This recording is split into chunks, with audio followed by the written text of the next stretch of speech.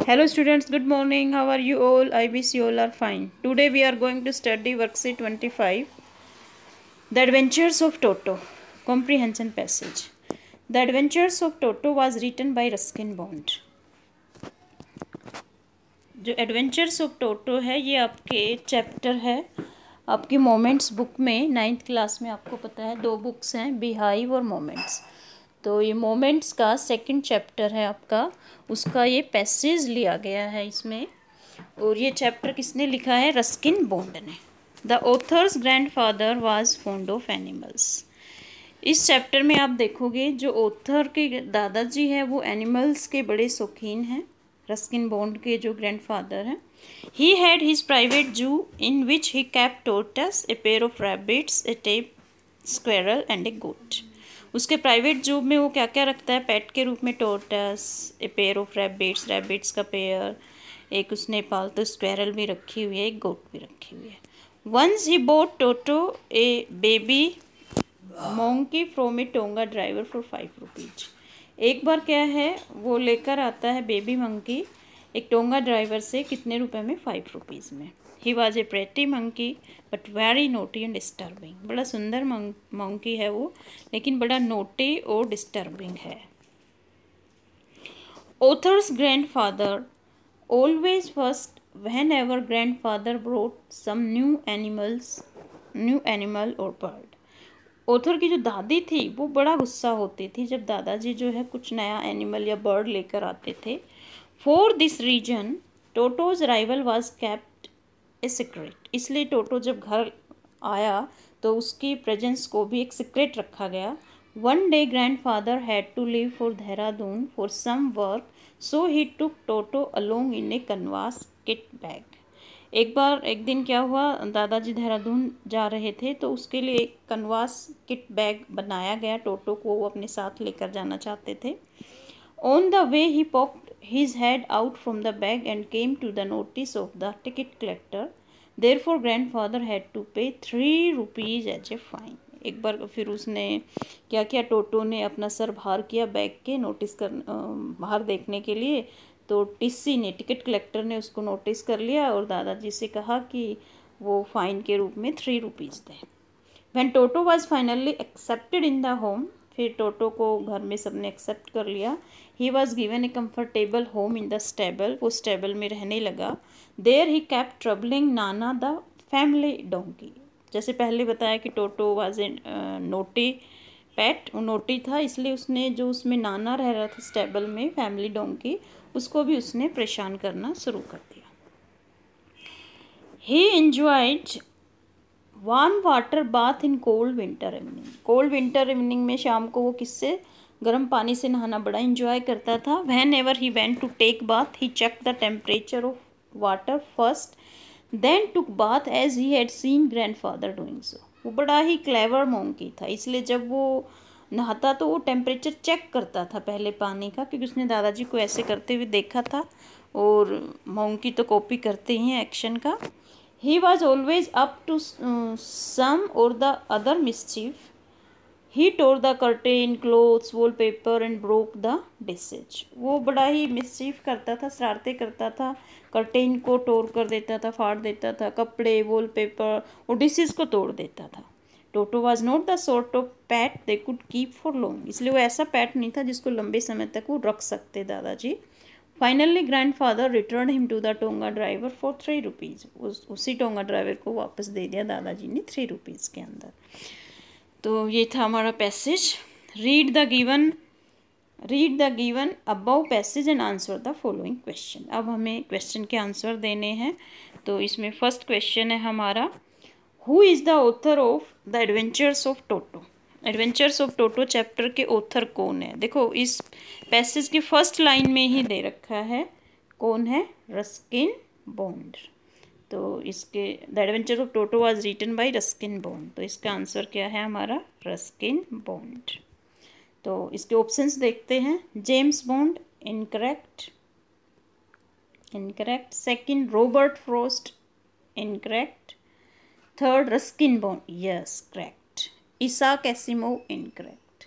तो इसका आंसर है हमारा रस्किन पॉइंट अब हम सेकंड क्वेश्चन पे चलते हैं। Toto was a pretty monkey because he blank was attractive had bright eyes had pearly white teeth all of all of these तो देखो टोटो प्रेटी मंकी था। क्यों? क्योंकि ही वॉज़ अट्रैक्टिव बिल्कुल सही है। हैड ब्राइट आइज़ बिल्कुल सही है। हैड पर्ली वाइट टिथ बिल्कुल सही है। तो इसका आंसर हमारा क्या होगा? ऑल ऑफ़ दीज तो इसका आंसर है हमारा ऑल ऑफ़ दीज फ़र्स्ट का आंसर रस्किन बॉन्ड और सेकंड का आंसर आया हमारा ऑल ऑफ़ दीज अब क्वेश्चन सी पढ़ते हैं हम। Grandfather took Toto with him to blank in a blank अब देखो ग्रैंडफादर जो है टोटो को अपने साथ लेकर कहाँ गया था? चलो देखते हैं हम अपने इसके अंदर पैसेज के अंदर। तो पैसेज के अंदर क्या है, देखिए grandfather had to leave for Dehradun और किसमें लेकर गया था? कनवास किट बैग अब हम देखते हैं अपने ऑप्शंस ऑप्शंस में क्या है? फ़र्स्ट है Delhi paper bag incorrect second Kanpur suitcase incorrect home box incorrect fourth option है देहरादून कनवास बैग तो ये बिल्कुल सही है। अब हम आते हैं डी क्वेश्चन के ऊपर। When Toto got accepted, he was placed along with Nana, the family donkey in a वो नाना के साथ रहा था ना? हाँ जी बिल्कुल। और कहाँ पर? किसमें रहा था? स्टेबल में रहा था। देखिए आपके पैसेज के अंदर। Toto was finally accepted in the home he was given a comfortable home in the stable तो स्टेबल के अंदर वो रहा था। तो अब हम इसके ऑप्शंस देखते हैं। फ़र्स्ट ऑप्शन है canal incorrect then incorrect. Stable, yes, correct answer, stable. Pen भी इनकरेक्ट तो इसका आंसर है स्टेबल अब ई क्वेश्चन क्या है हमारा? Toto always blank the temperature of water when he went to take bath Toto हमेशा पानी के टेम्परेचर को क्या करता था? चेक करता था जब वो नहाने के लिए जाता था। तो आपको पता है जो हैबिट होती है, जो हम हमेशा काम करते हैं, उसमें हम क्या यूज़ करते हैं? प्रेजेंट इंडेफिनेट टेंस तो इसमें क्या आना चाहिए? चेक्स आना चाहिए क्योंकि टोटो सिंगुलर है। सिंगुलर जब सब्जेक्ट होता है सिंपल प्रेजेंट में तो हम फ़र्स्ट फॉर्म के साथ एस या ई एस लगाते हैं। तो अब इसके ऑप्शंस देखते हैं। फ़र्स्ट ऑप्शन है चेकिंग इनकरेक्ट चेक्ड इनकरेक्ट तो इसका सही आंसर क्या आएगा? चेक्स और नन ऑफ़ दीज इनकरेक्ट तो इसका थर्ड ऑप्शन करेक्ट है हमारा। Toto always checks the temperature of water when he went to take bath अब नेक्स्ट क्वेश्चन हम देखते हैं। Why did grandfather return Toto to the tonga driver दादाजी ने टोटो को टोंगा ड्राइवर को वापस क्यों दे दिया था?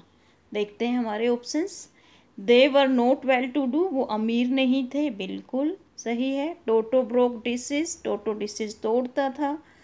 Toto tore curtains clothes, yes, ये भी सही है। तो इसका आंसर क्या होगा? ऑल ऑफ़ दी सारे ऑप्शन सही है। तो इसका आंसर हमारा क्या होगा? ऑल ऑफ़ दीज ये है इसका आंसर। अब हम नेक्स्ट क्वेश्चन पे चलते हैं। Question number G Toto was not the sort of pet they could keep for Toto इस तरह का पैट नहीं था कि वो उसे रख सकते थे। मतलब ज़्यादा समय तक रख सक, रखते, रख सकते थे। तो हम अपने उसमें देखते हैं पैसेज के अंदर। पैसेज के अंदर भी देखो ये दे रखा है इसमें। कहाँ पर दे रखा है? हम्म, ये देखिए आप। टोटो वाज ना was not the sort of pet they could keep for long ज़्यादा समय तक वो उसको नहीं रख सकते थे। तो ऑप्शंस हमारे क्या है? फ़र्स्ट ऑप्शन है सम टाइम तो ये क्या है? इनकरेक्ट सेकंड है an hour incorrect long very good ये आंसर है इसका। लॉन्ग ज़्यादा समय तक वो उसको नहीं रख सकते थे क्योंकि वो दूसरे एनिमल्स को नुकसान पहुंचाता था, घर में भी नुकसान करता था। फिव डेज़ भी हमारा होगा। इनकरेक्ट अब हम नेक्स्ट क्वेश्चन पे चलते हैं। नेक्स्ट क्वेश्चन है हमारा H what would you have done with Toto if you were in place of grandfather यदि आप दादाजी के स्थान पर होते तो आप टोटो के साथ क्या करते? कैप्ट उसको रखते सोल्ड हिम उसे बेच देते नेवर बोट हिम उसे कभी नहीं खरीदते, या सेंट हिम टू ए जू तो इसका आंसर आपके ऊपर डिपेंड करता है।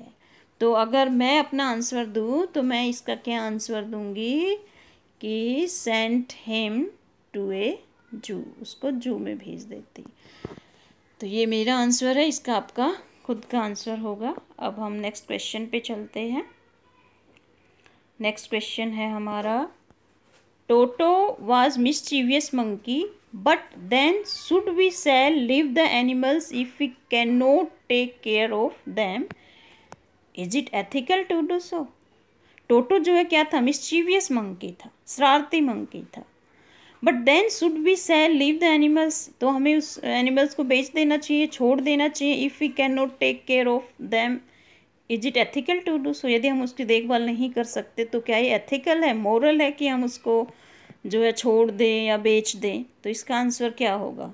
फ़र्स्ट ऑप्शन है नो सेकंड है यस थर्ड है मे बी फोर्थ है एनी अदर तो मेरा इसका आंसर होगा एनी अदर क्यों? क्योंकि एनी अदर